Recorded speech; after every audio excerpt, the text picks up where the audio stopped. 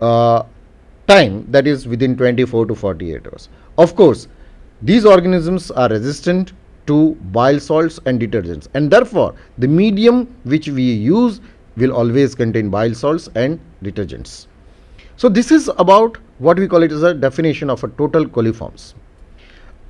now, in this total coliforms, which organisms of the family Enterobacteriaceae qualify? That includes Escherichia, Klebsiella, Enterobacter and Citrobacter. These organisms, the, they give positive results in the medium which I have mentioned earlier and they are referred to as coliforms.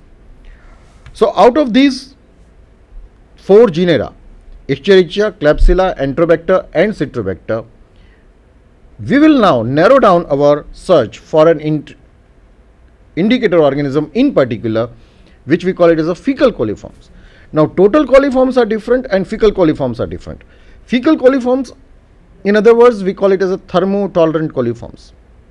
The only difference between the total coliforms and fecal coliforms are that fecal coliforms have an additional capacity to ferment lactose at a higher temperature that is 44.5 degree centigrades a temperature which is slightly elevated as compared to the 37 degree centigrades. That is why there is a test which sometimes is known as a elevated temperature test or a Eijkman test which differentiates these co fecal coliforms from the non-fecal coliforms or the total coliforms. Now, so fecal coliforms are those organisms which ferment lactose at higher temperature 44.5 degrees centigrades in a medium with bile salts. And these organisms includes E. coli, Klebsiella and Klebsiella pneumoniae. So now our search had narrowed down to fecal coliforms. And among fecal coliforms, we have the most common one that is E. coli because the number also is very large in fecal material. So, you can say fecal coliforms are a subset of a larger group of organisms known as coliform bacteria. As you can see here in the diagram, the outermost circle that is blue in color represents total coliforms followed by a pink circle which is a fecal coliform and in the center we can have an E. coli that is represented as a dark dot, red dot. So, E. coli is a subset of fecal coliform and fecal coliform is a subset of the total coliforms. Now, apart from Escherichia coli, we have other organisms which can also be considered as an indicator of fecal contamination. These includes Enterococcus. Specifically, Enterococcus included here are Enterococcus faecalis, Enterococcus faecium. They were also known as a Streptococcus faecalis. These organisms, they are also frequently found in human fecal material. Specifically, these organisms are reliable for marine water samples because these organisms are able to grow, they are able to survive in a high salt concentration of 6.5 percent NaCl and at a pH of 9.6. What are the disadvantages then? Disadvantages includes that these organisms can regrow once they are introduced into the soil or water. That was one of the prerequisite condition that an indicator organism should have. What was it? That it should not grow, it should not multiply in the environment. It should only multiply only under the uh, gut conditions that is in the human intestine. Therefore, this point makes Enterococcus not very or equally good with that of a E. coli. Second, it does not persist in soil and vegetables as long as E. coli. Therefore, the death rate of these organisms is higher and therefore, it will die out faster than the pathogens which is again a very important disadvantage as far as Enterococcus is concerned. Apart from this, what is the use of FCFS ratio? the use of FC-FS ratio and what is its importance. FC means fecal coliform and FS means fecal streptococci. FC-FS ratio that is the ratio of fecal coliforms to fecal streptococci is a very important if we want to determine the source as well as the type of contamination. For example, fecal coliform and fecal streptococci ratio, if the FC-FS ratio is greater than 4, that is coliforms are higher, 4 times higher as compared to streptococci, then you can definitely say it is a contamination of a human origin. While if FC-FS ratio is less than 0.7, fecal contamination can definitely be of an animal origin. While this relationship is only true for the recent fecal contamination, that is the contamination which has been in the last 24 hours. So, this FCFS ratio is of uh, importance when we are trying to analyze the source from which particular animal either from a human being or from a farm animal this kind of contamination has taken place. The next organism which also accounts as an Clostridium perfringens is uh, Clostridium perfringens which accounts for an indicator organism.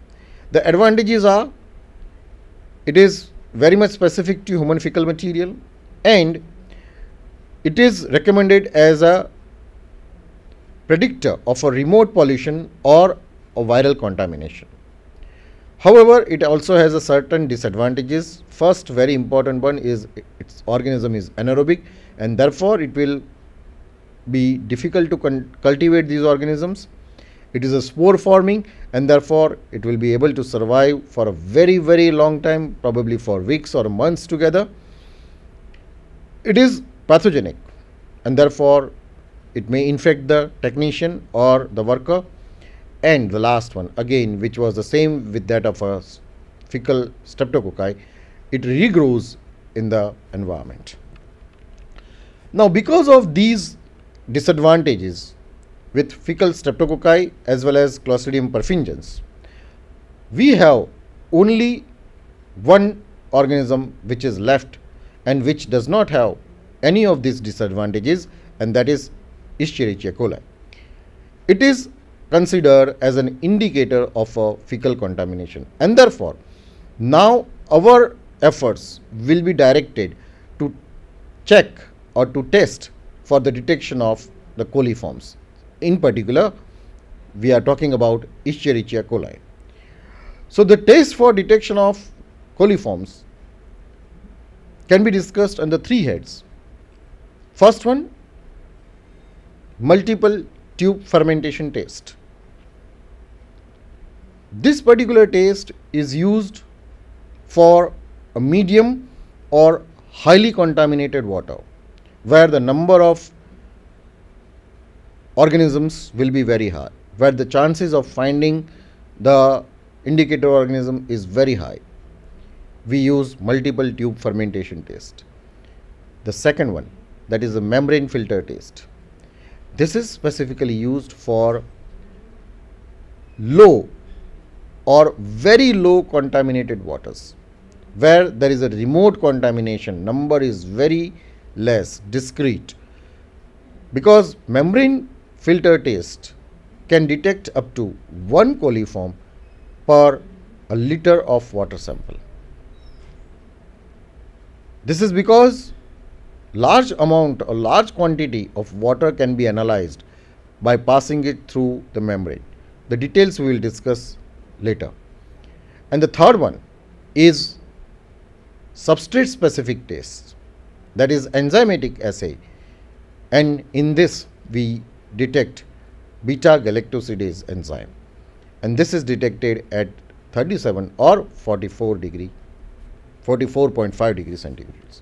So, three tests in all multiple tube fermentation test, membrane filter test and enzyme substrate that is beta galactosidase assay tests. Now let us discuss the first one, the multiple tube fermentation test. The methodology in particular, because if we understand how the test proceeds, we will be discussing along with it the mechanism and the process together with the reasons why we do it in this particular manner. The first step includes water sampling.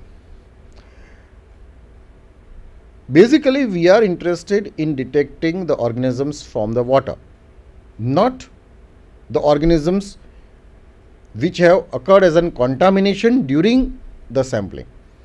That is, the sampling should be done in a sterile manner, in a sense that the water tape is to be thoroughly cleaned and allow the water for uh, allow the water to flow from the tap for 1 to 2 minutes and then collect the water sample. Once the water sample is collected, of course in a sterile container, this water sample have to be analyzed within 6 hours or if there is a chance of delay then it should be refrigerated and at a low temperature but under no condition it should be analyzed after 24 hours and the technique which we use is multiple tube fermentation technique one thing which i would like to tell you is since i have described the collection of water from the tape that does not mean that this is the only method. If the water is collected from a well or from a river, the similar type of sampling procedures are done. Only thing is that take precautions that you get a representative sample. It should not be contaminated by other sources. So, the water sample can be collected either from a well or from a river or from a springs, but it should be collected in a sterile container. Once the water sample is collected, uh, from an experience, a microbiologist would come to know if he is given the data that it is collected from a particular site, that whether it requires a dilution or not. If it is, say for example, a treated water sample, chlorinated water sample, or a water sample which is supplied in cities, then naturally the civic authorities they disinfect the water and the chances of other organisms are very few and therefore there is no need of dilution however if the contamination is high if the water sample is from a river which is having a high load of microorganisms, organic matter, then prior dilution is necessary before the test is carried out. The dilution is carried out of the order of 10 is to minus 1, minus 2, minus 3. It depends upon the degree of contamination. How this dilution is done? It is done by transferring 10 ml of sample to 90 ml of sterile distilled water or 1% peptone water. This gives you a 10 is to minus dilution, minus 1 dilution. Similarly, the serial dilutions can be done in a way that you get a dilution of 10 is to minus 2, minus 3, minus 4 and it can go up to 5, 6 or 7 also. Once the sample is diluted, we start with the first part of the test and that is known as a presumptive test. Presumptive test, as the name indicates, presumes the detection of coliforms. We are presuming that if coliforms are present, this will be detected by a particular test and that is why the name is presumptive test.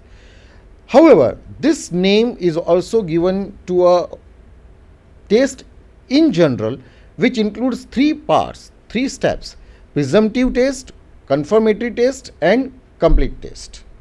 So, presumptive, confirmatory and complete all three together is also known as a presumptive test, a test for detection of coliforms. So, we have the first one Let us see the first one, presumptive itself. Now, in this test, which kind of media or the growth media which we are going to use? We use either MacConkey's broth or lauryl sulfate tryptose lactose broth, lauryl sulfate tryptose lactose broth or brilliant green lactose bile broth. Each of these broth tubes will have Durham's tubes in them. Each of them will have Durham's tube. Durham's tube is a small test tube like uh, tube which is inserted in the broth medium. now let us discuss the MacConkey's broth. MacConkey's broth, to be very specific, contains peptone, lactose, bile salts, neutral red as an indicator and certain buffer salts that is potassium phosphate buffers monopotassium or bipotassium. Peptone is a source of nitrogen. Lactose is used to test whether the organism is capable of forming lactose or not because remember we are testing for a coliforms and according to the definition of the coliforms they should be able to ferment lactose at 37 degrees centigrade within 24 to 48 hours in presence of bile salts. So, that is why the medium contains the bile salts. Bile basically is an inhibitor of gram positive bacteria and most of the gram negative bacteria except the intestinal flora that is the chloriform, uh, coliforms. Therefore, MacConkey's broth is a highly selective medium which will permit the growth of intestinal organisms, intestinal flora, specifically coliforms. If coliforms are present, the organism will grow into it, ferment the lactose, produce acid and gas and therefore neutral red will change the color and there will be a presence of gas in Durham's vial. Brilliant green lactose bile salt basically has the same composition only change is it contains brilliant green as a dye. Basic function is there and aeroglycine that is a dye. These are the pH indicators. Lauryl sulfate, tryptose broth. Tryptose, here the peptone is replaced by